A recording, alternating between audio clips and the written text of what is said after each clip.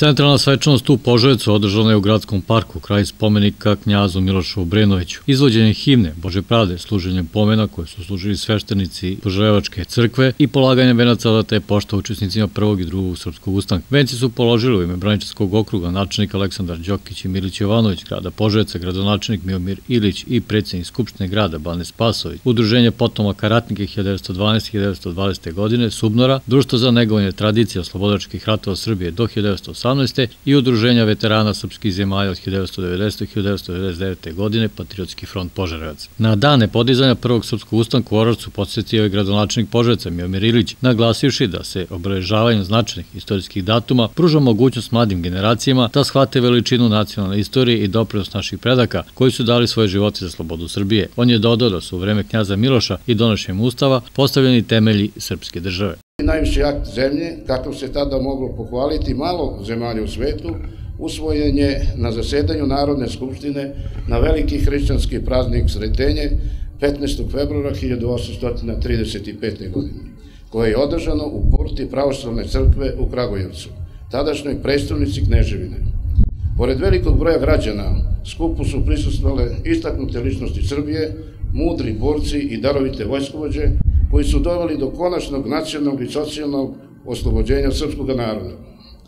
Milošev rat sa Turcima bio je jedan od redkih ratova u istoriji srpskog naroda koji je vođen planski, koga je pratila superiorna diplomatija i koji je postavio temelje za sticanje samostalnosti, proširenja države i kasnije nezavisnosti. Smirivanje tenzije u Srbiji između Srba i Turaka, knjaz Miloš je odlučio da ustroji predstavnicu u Požarevcu Podigo je sebi i knjeginji Ljubici, konake i vezao sebe i porodicu za ovaj grad i nahiju. Prepoznao je potencijalne kapacitete Požarevca i okoline, opredelio se za dalji razvoj grada. Podigo je crkvu i tabačku čaršiju, razvio trgovinu, poljoprivredu, stočarstvo i veliku ekonomiju sa mnogim dobrima, livama, vinogradima, livadama i vodenicama. Osnovu je Ergelu Ljubičevo na imanju Morava, da je poklonio državi. Izgradio je kasarnu i vojni centar za obuku vojnika. Da bi rešio pitanje komandnog kadra, osnovao je Vojnu akademiju za izučavanje vojne nauke. Ustanovio je Nakijski sud, izgradio škole, bolnice i mnoge druge značajne objekte. Besedu o danu državnosti govorio istoričar dr. Gozan Bojković. Miloš Obrenović je čovjek koji je vratio Srbiju na kartu Evrope i našao je mesto u tadašnjem sistemu evropskih sila, koje nakon francuske revolucije uopšte nisu bile voljne da vide bilo kakve promene. Ustavom je definisana država, zapisana, prihvaćena i priznata, organi vlasti i elementarna prava i položaj činoca vlasti i naroda, rekao između ostalog Bojković. Pre 180 godina Srbija je dobila svoj prvi ustav, definisana je kao država i u njemu su izražene, definisane težnje srpskog naroda na način na koji su to želeli mnogi drugi narodi Evrope.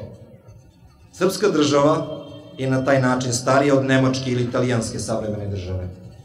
Srpska država je starija od Poljske, Češke, Slovačke, Rumunske, Mađarske države savremenog doba. Neke države nikad nisu ni postojale u vreme kada je ova definisana, a sebe je definisalo onako kako su se definisale težnje stanovništva svih drugih evropskih zemalja, iako je to stanovništvo imalo tradiciju od 200 godina racionalizma, a Srbija tek 20 godina često očajničke borbe za slobodom. Ali dok imate slobodu, imate sve što vam je potrebno da osvojite svoju budućnost. A dok imate državu, možete raditi sve što god želite. Čuvajmo je, jer ako je izgubimo ikad, ponovo ćemo morati da radimo ono što nam se naloži ili da se borimo za nju. Ova država je očuvana i održana po užasno skupu cenu. I u njoj i dan danas postoje iste težnje koje su postojali u to doba i u njoj i dan danas postoje ljudi koji su spremni da ih čuvaju.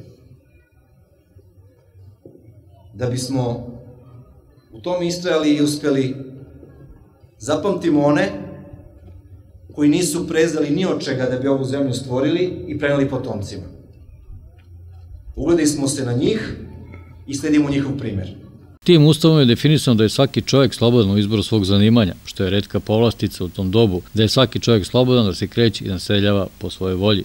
Miloš Obrenović će u Srbiji definisati onu samosvest koju srpski narod počeo razvijati od prvog srpskog ustanka i Obrenović će definisati težnje i artikulisati želje naroda na način na koji prvi srpski ustanici nisu smeli ni da pomišljaju kada su započeli borbu za oslobađanje Srbije, završio svoju besedu Gordon Bojković.